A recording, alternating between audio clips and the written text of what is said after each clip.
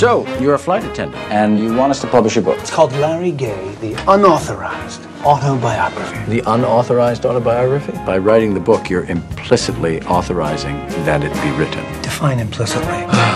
Would someone please show this jackass the door? Why don't you come over tonight? I guess I could drop my landing gear, if you know what I mean. Fit my wheelie bag into your overhead. I know what you mean. Okay, so I'll see you tonight, right? Yes, you will.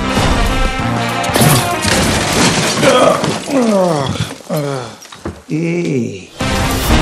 Which one of you is gay? Larry, gay. That'd be me.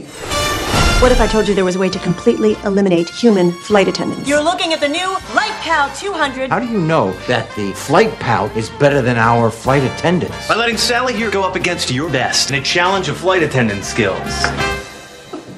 Hello. I'm having a ball. We need you, Mr. Gaye. Our livelihood depends on it. Nothing will stop me. As long as it's not on a Tuesday morning, I have a Zumba class. Or Saturdays at 3, I have a standing body wax. Wednesdays aren't great. Hump day. And I take that quite literally. You know what I'm talking Mr. about. Gaye. Oh, I got stuck with so much luck. I'll never know. Now that's programming. You fasten the seatbelt by inserting. Hmm. Yeah. Yep, yep, yep, yep. And finally, when that buckle just can't take anymore, you pull on this thing to release it. Ho! I think those instructions could have been clearer. Each day I wake up and greet the world at my feet.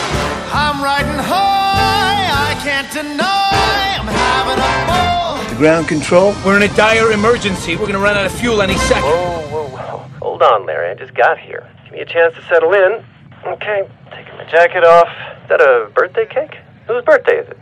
Watson? Happy birthday, big fella. Come here, let me give you a hug. Larry Gaye, renegade male flight attendant. Sir, can I get you a drink? Bourbon rocks. It sure does. But I'm afraid I can't serve alcohol to minors.